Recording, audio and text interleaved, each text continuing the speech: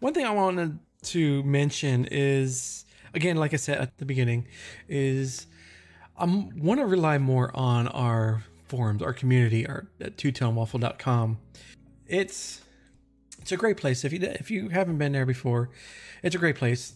I have uh, articles and stuff, blog posts.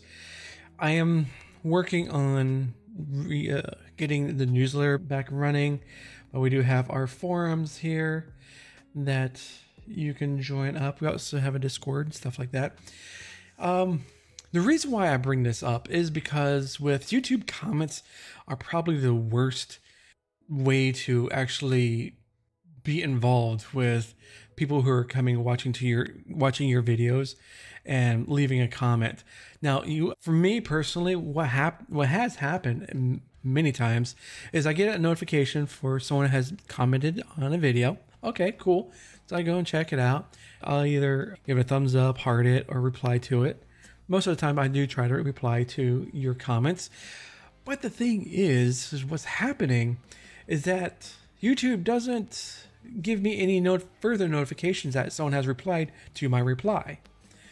I don't see that if I go into my uh, YouTube studio and it has a spot there for the latest comments. That's just comments are just new comments to a video. There's not a reply to a reply. I don't I don't get that. I don't know if if there's something that some setting I'm missing or anything like that. If there is, please let me know down in the comments down below. But the thing is that there's been times where I have to go in. Let me go ahead. Well, I'm not signed in on this one. Anyways, I would have to go into the, the YouTube comments and I have to click off of comments, the filter that is that says comments I have not responded to yet. So I pretty much have to say, give me all the comments. And that's the only way I can find out if I have missed a comment or a reply to a comment.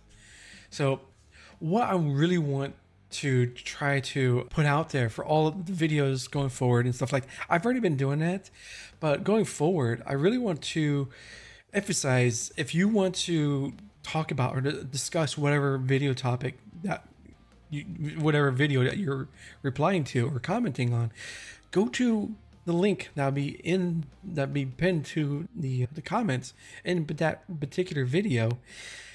Go go to our website. Go to twotonewaffle.com, and that's where I'm going to have all the discussion. I really I am disappointed, really, with a multi-billion dollar company that no is the de facto monopoly for video hosting and live streaming of video content that they can't give a notification if you get a reply to a reply of a comment. It's a weird thing. I know, right? You want to get notified. No, someone reply to your reply. Here's here here's what they said.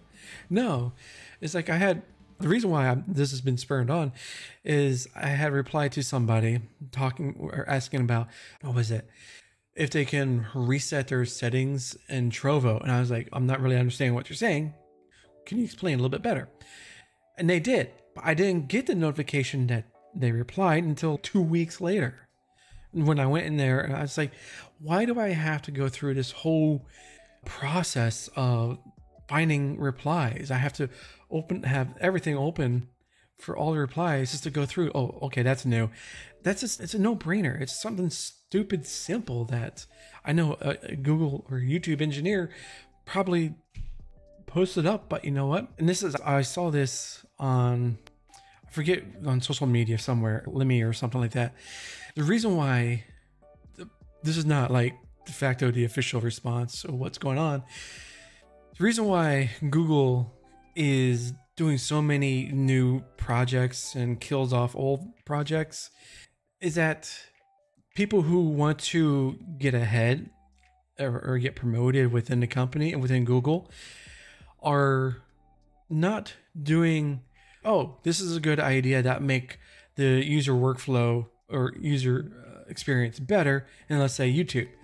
Now here's option B for uh, getting this pushed through. They're not doing that. They're doing oh would it be great if we make a product X to make whatever problem that we're looking for a solution for or a solution for looking for a problem. It's those projects that are getting pushed through and then being worked on. Anything like maintaining a or improving a user experience, it's not really getting worked on whatsoever. There's probably a few people who are doing that, but the problem is that it's like bottom of the barrel of yeah, we'll get that eventually. Yeah.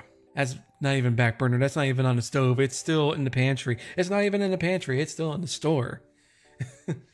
so that's my take. And I when I saw when I read that, I'm like, you know what? That makes really good sense. That to see these projects and to see that they're getting the maintenance rot of a lot of these uh, products within Google. We see it all the time.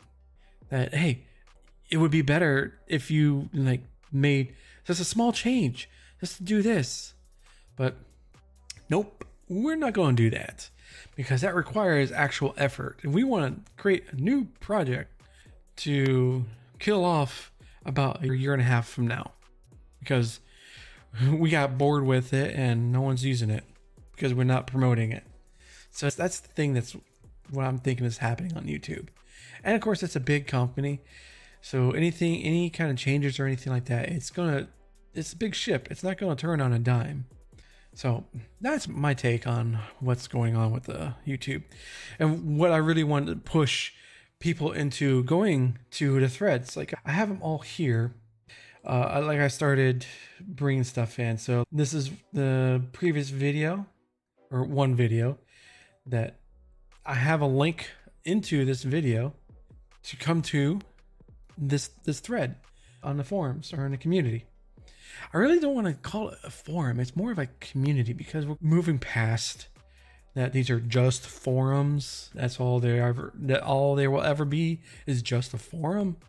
So I want to keep it more of this is a community that we're working with.